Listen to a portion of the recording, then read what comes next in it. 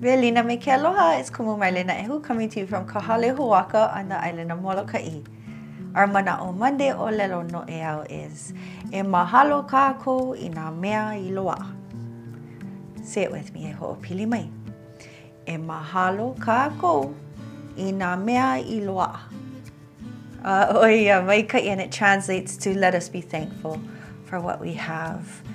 It is when we look inwards and we remind ourselves of what we are truly grateful for that we can enjoy life and we continue to be blessed with wonderful things. One of my favorite ways to wake up in the morning is to remind myself remind myself of all the things that I'm truly thankful for, the things that I'm mahalo. So let's say it one more time all together. E mahalo kako i ngā mea i loa. Mai kai. Our hu'olelo ho, or new word today, is kapu. Say that with me.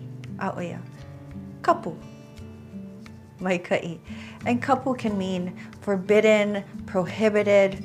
It can even mean sacred or holy. And it depends in which way you use it.